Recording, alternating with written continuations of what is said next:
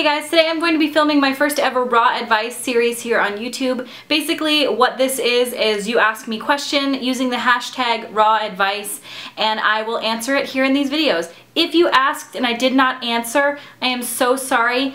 The way that these hashtags work is a little confusing to me. Twitter's the best way to ask because the hashtags come straight through and I can look at all of them. Um, but if you also, if you ask on Instagram and you use the hashtag in one of my pictures, it doesn't take me to that hashtag. It's very strange. For now, uh, I would just say ask in the comments of this video for your next the next series that you have or um, ask me on Twitter or however you guys want to do it. Any question that you have, I will answer and I'll answer it truthfully and honestly.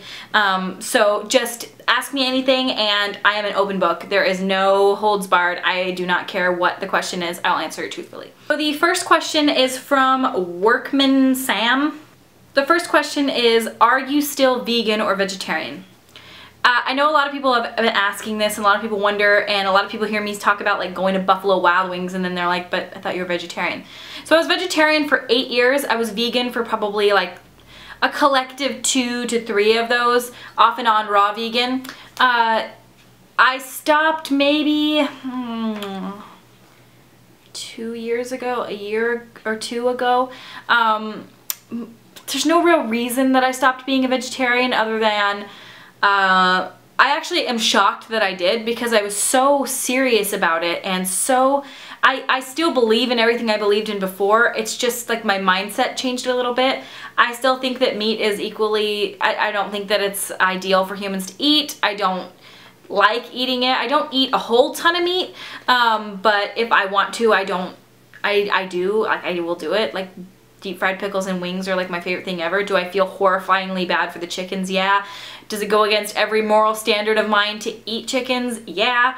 Uh, why do I do it? I don't know because I guess I'm like everybody else and I just do it even though I feel bad about it. I'm really trying to cut back lately. I've, I've actually pretty much been eating mostly vegetarian like the whole last week or two. Um, I just I just really am not that into it. I don't know. I go through phases. So no, I'm not. I wish I was and I really feel like I'm going to transition back into it because I, not that I felt better, even though a lot of people are like, you're going to feel a thousand times better. No, not really. Uh, I feel pretty much the same. Um, but yeah, there's, there's your answer. No, but I, I think I kind of wish I was. Okay, this one's a long one. It's from underscore V underscore I underscore B underscore E underscore S underscore periods in there too. Vibes. Uh, okay, big question, probably TMI, but here it goes.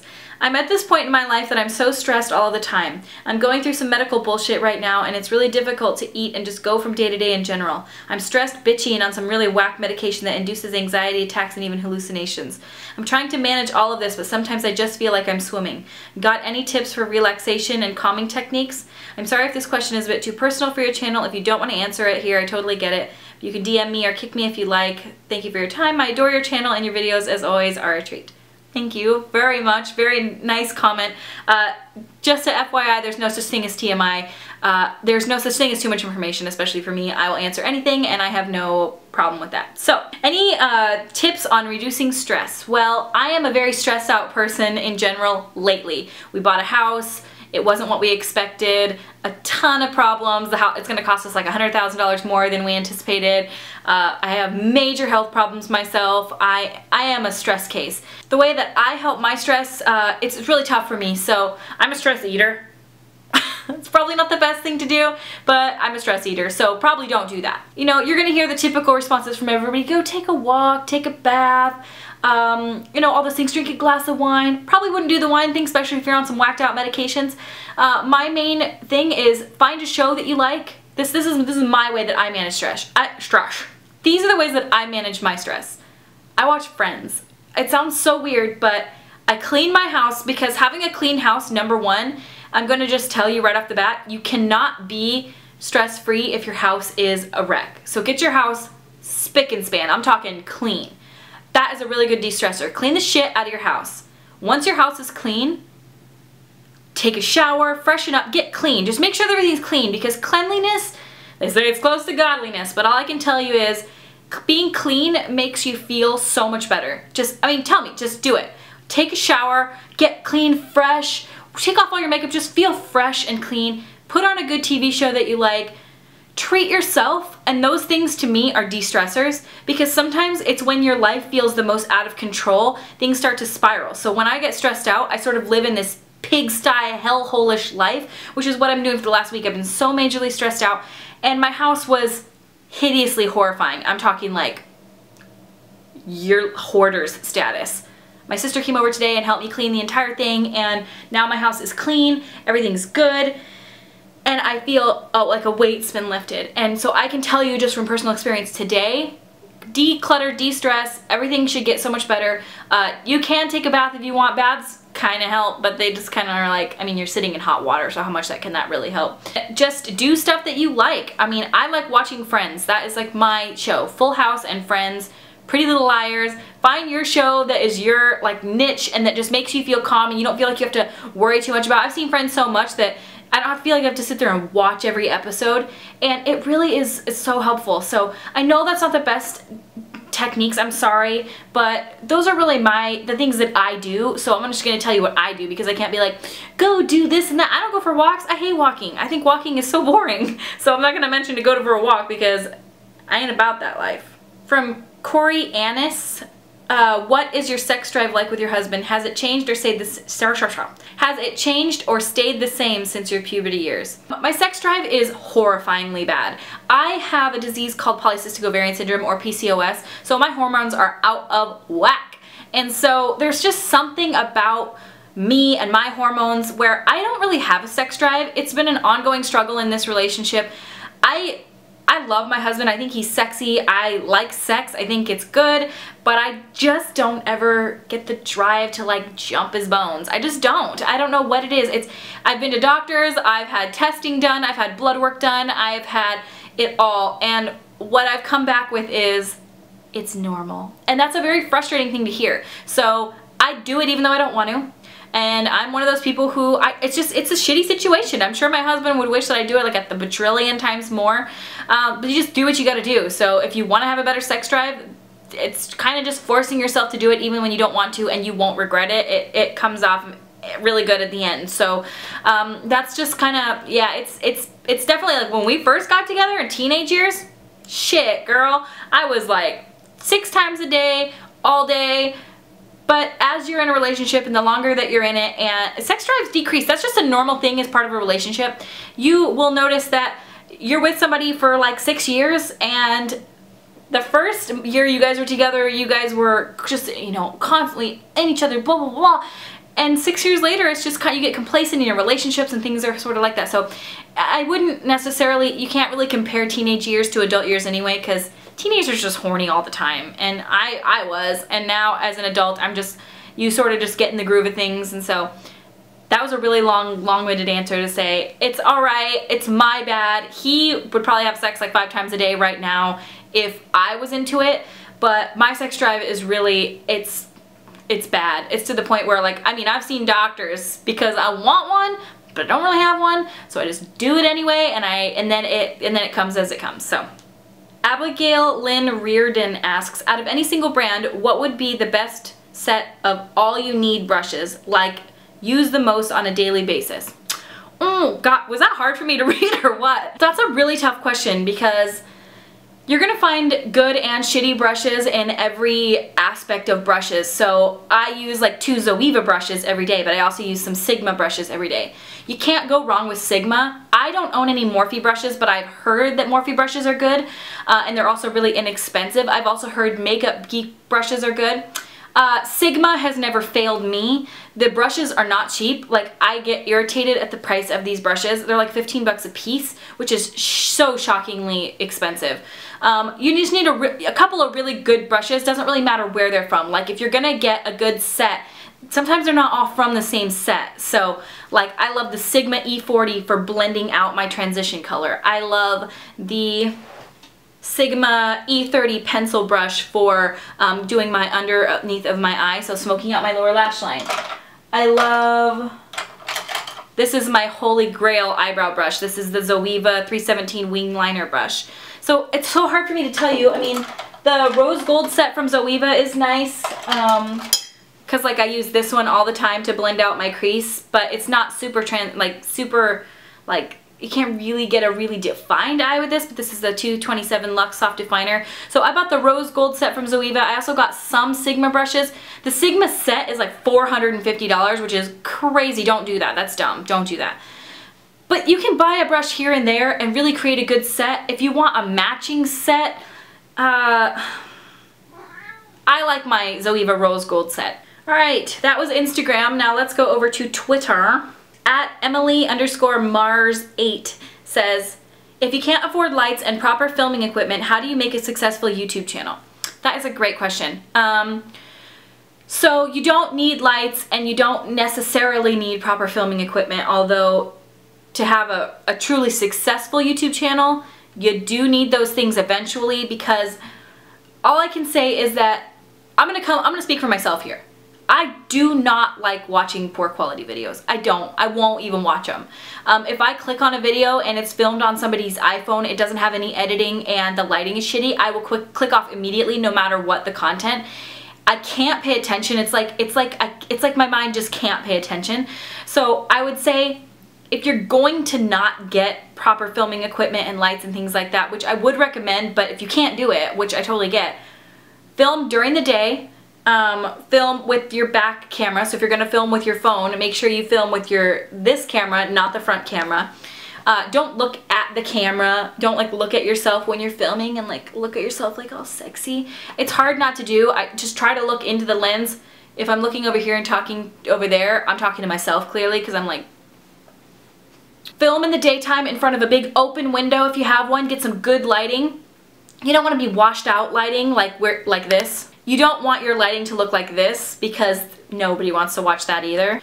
But you you know, just make sure that you're in front of a nice window. Make sure you use your back camera on your phone or you can use like a little vlogging camera or whatever you have, like any little camera that you have. Just make sure that you have good editing. Now editing is, I think, more important than anything. Lighting and filming setup and all that stuff, that's all great. That's all fun and good. But you, you need to have good editing as well because this is the worst type of video to watch. Hi guys, welcome to my YouTube channel and today I'm going to be showing you all about my new NYX lipsticks.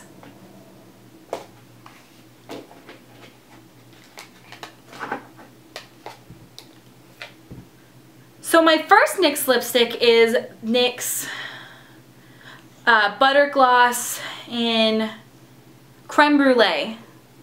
That's, that's the worst type of video to watch.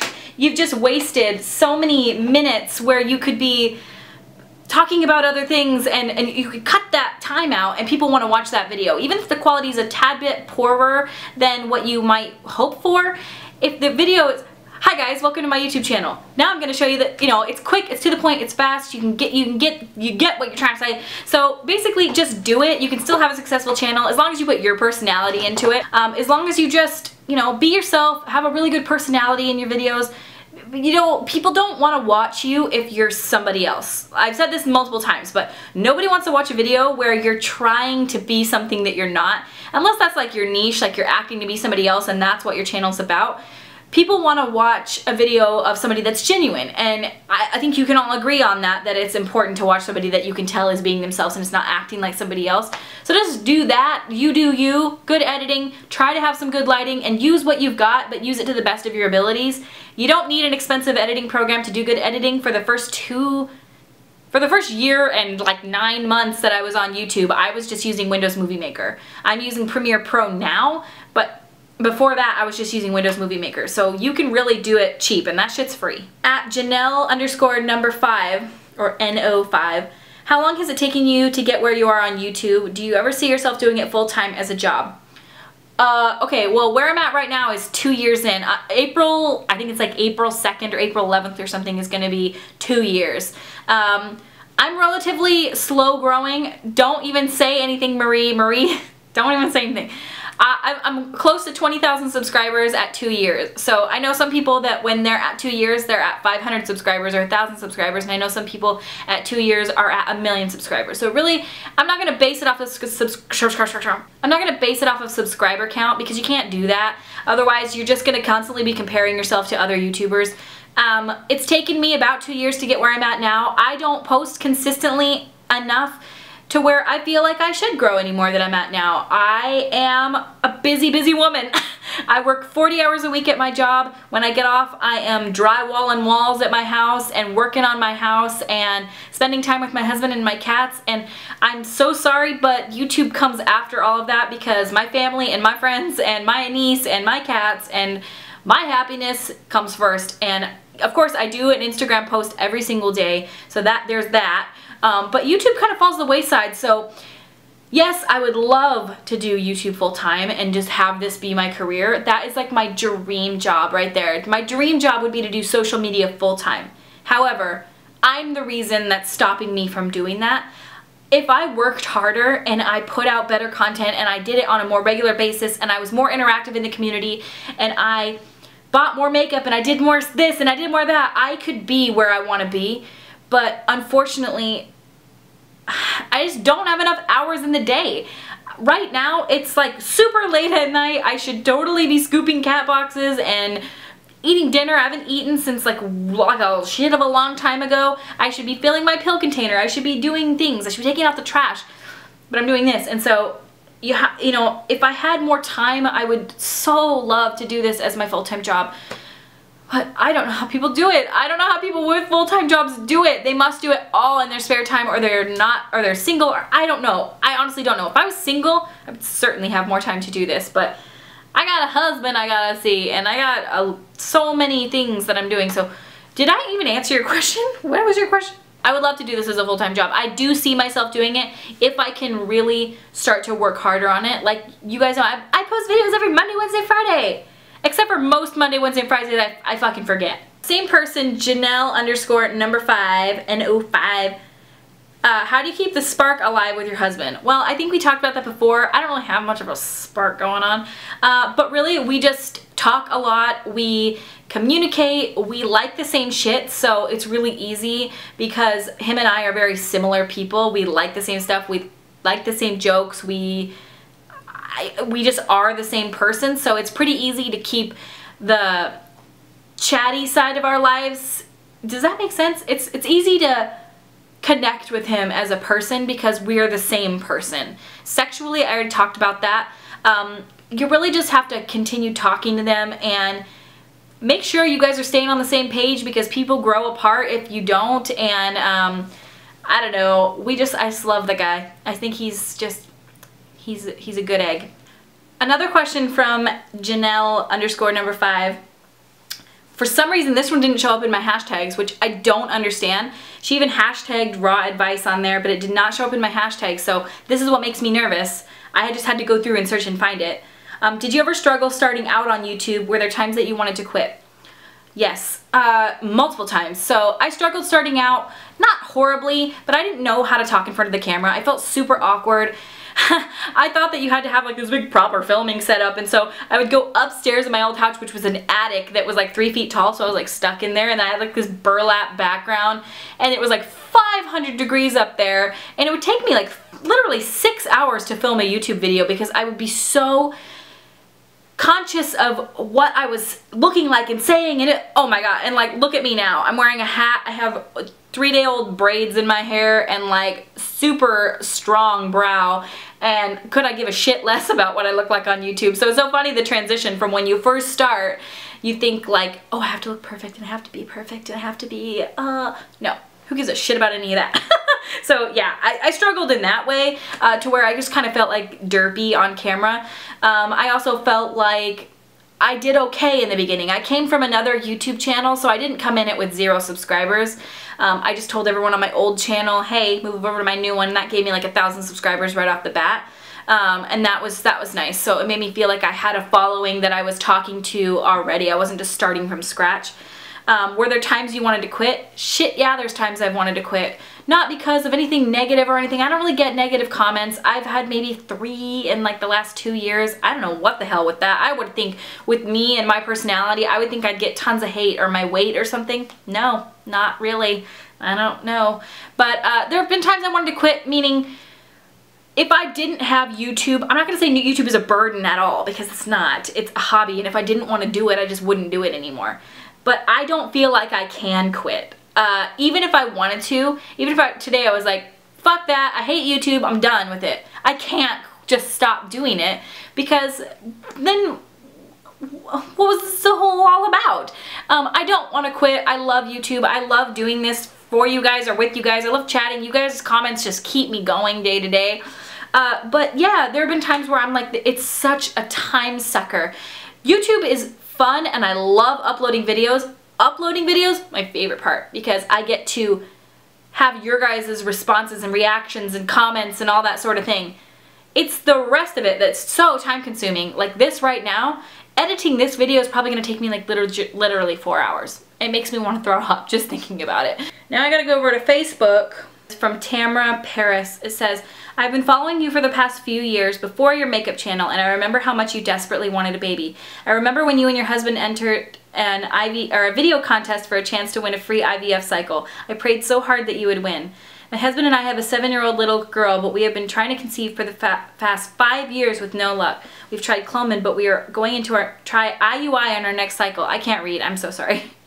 My question is, how did you come to peace with not being able to get pregnant and what made you not want one even if you could? Okay, so if you guys don't know this, uh, we tried for like five, six years uh, to have a baby, can't get pregnant. I've tried all sorts of fertility treatments a lot other than like IVF and I did not try IUI, it's just too expensive and I came to terms with it before then. So she wants to know how I came to terms with not being able to have children. So this was really tough for me because if you follow me from my old channel, all I gave a shit about was being a mom. I wanted kids more than anything. And some people look at me now and they're like, you? You want a kid? Yeah, I really did. Like, that's all I thought about day and night, I wanted to be pregnant, I wanted to have a baby, I wanted to be a mommy. Fast forward to today, it's the last thing I want. so the way that I the way that I got over it was looking at my life and realizing what I wouldn't be able to do with children. Now you already have a kid. So that's tough because you have you already know what it's like to have kids and you already have another one. So this is even tougher for you. Secondary infertility can even be tougher than uh, just regular infertility because you know that you want to have a second kid because you already have one. Now me, I don't even know what it's like to have kids. So for me, it's like I'm longing for something that I've never had, whereas you're longing for something that you know you love. So the way I got over it was I just looked at what I have and I looked at what I do and can do and I realized I can do all of that and I don't have to worry about having a kid. And also, my cluster headaches really stopped me from wanting to have kids because the pain is so bad that there's no way I could handle it if I was pregnant. And I don't want to pass that gene down to my child. I have a lot of health problems. I'm not a, I'm not a fit person to be a mom. Uh, I have a lot of health problems I don't want to pass down to a kid. I don't know if I could live with that guilt that if my kid had these cluster headaches, I'm passing a lifetime of agony and pain to a, a baby. That wasn't their fault. And yeah, my husband wants to have kids too. We've both come to terms with it. We're okay if we never ever do. Uh, but I just, I just realized that my life can still be good without kids. So that's how I came to terms with it. Everyone's going to deal with it differently and you, I can't expect everyone to be like okay with not having kids because it took me a shit long of years before I ever felt okay with not being a mom. Now, I feel like if I died at 70 years old, that's how I feel now, and I felt this way for the last few years. I don't feel like on my deathbed I would say, and I never had kids. I really, truly don't feel that way. I am 100% okay with not being a mom, and I never thought I would say that. If you knew me from my old channel, you have videos of me crying on the side of the road, begging people to give me free IVFs. You have me, you have me sending in video submissions to get free IVF cycles. You have me begging and pleading with God to just give me a baby and now I'm like, fuck all that. I just came to terms with it. It is what it is. I sort of live my life by that motto. It fucking is what it is. I have cluster headaches. It is what it is. It sucks. It's ruining my life, but it is what it is. So that's kind of how I come to terms with it. I'm so sorry that you're dealing with it. It sucks. It makes you look at other pregnant women and hate them because you're like, how can you have a baby and I can't? And then you feel guilty for feeling that way. Uh, all I can tell you is you do what you have to do to come to terms with it. Maybe you won't. Do IUI, do IVF, do everything you can to have that baby. But if you can't, you're going to have to find whatever way in you comes to terms with it. Because my way was just to look at my life and realize it's pretty badass without having kids. And that's the, that's all I had to do. I'm sorry, that may not be the answer you're looking for, but that's the answer I've got. So I think that is all the questions for this video. I thank you guys so much for asking your questions. Clearly I am super talkative and chatty. Uh, so for the next video, I would say please ask your questions in the comments of this video. You can still use the hashtag raw advice, please do.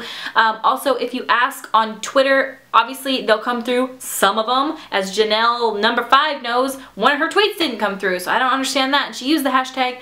Also, on Instagram, it's really weird. So use your hashtags, do what you gotta do, or ask the questions on my pages, and I shall find them. I'll screenshot them when I see them so I can save them. And uh, yeah, that's it, guys. Thank you guys so much for asking your questions. Anything you have, I'm talking open book answer. I will answer it. No, no problems at all. So I thank you guys so much for watching. If you would like to, follow me on Instagram, Facebook, and Twitter. Those are all at Raw Beauty Kristi. Also, subscribe to my YouTube channel. It'll update you when I put out new videos. Also, hit the thumbs up button if you guys like this. I never ask people to do that because I feel kind of weird about it, but if you like it, thumbs, thumb me. Thank you guys for watching, and I will see you at my next video. Bye.